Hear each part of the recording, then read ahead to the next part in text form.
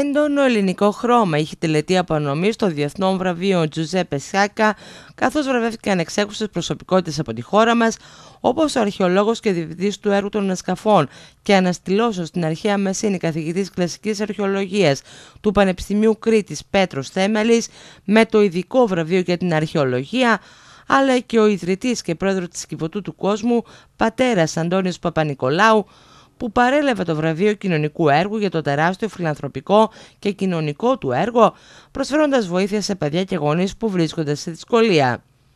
Ιδιαίτερα συγκινητική υπήρξε και η στιγμή της βράβευσης του Κύπριου Ολυμπιονίκη στην ιστιοπλοεία Παύλου Κοντίδη, στον οποίο απονομήθηκε το βραβείο αθλητισμού για τη διάκρισή τους στους Ολυμπιακούς Αγώνες του Λονδίνου το 2012 και την κατάκτηση για πρώτη φορά του αργυρού μεταλλίου στην ιστιοπλοεία, ανοίγοντας έτσι την ιστορία των Ολυμπιακών μεταλλίων στην Κύπρο. Atleta straordinario, cipriota, l'abbiamo visto anche alle Olimpiadi di Londra, Pavlos Contides.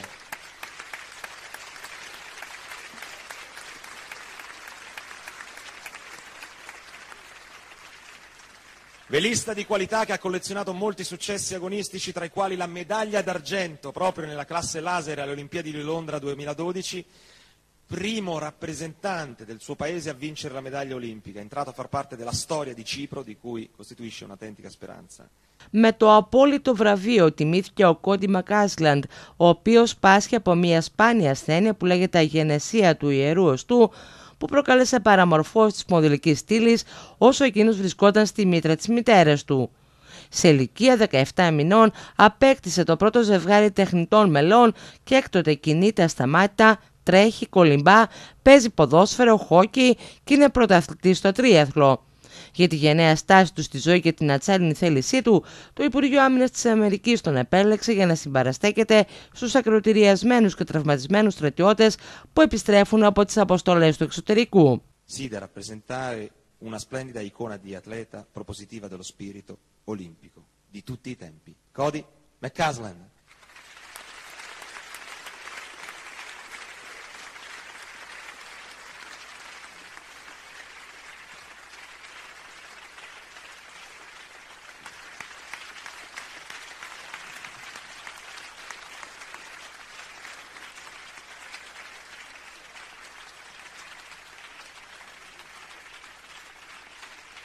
Με αφορμή μάλιστα την προετοιμασία του Κόντι για τους Παραολυμπιακούς του 2016, η Γενική Γραμματέα των βραβείων Βίκη Μπαφατάκη παρέδωσε το αιώνιο σύμβολο της νίκης έναν κότινο.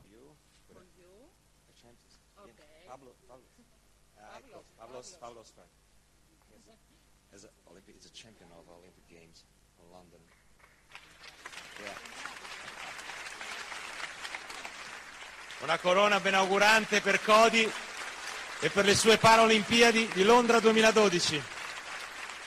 Στην τελετή απονομής εκπροσωπήθηκε και η γειτονική Τουρκία με την απονομή του βραβείου κινηματογράφου και θεάτρου στον δημοφιλή Τούρκο ηθοποιό Μουράτι Γιλτιρίμ, ο οποίος διακρίθηκε για το εξαιρετικό ταλέντο και το ήθος του, κατακτώντας σταθερά και το παγκόσμιο στερέωμα.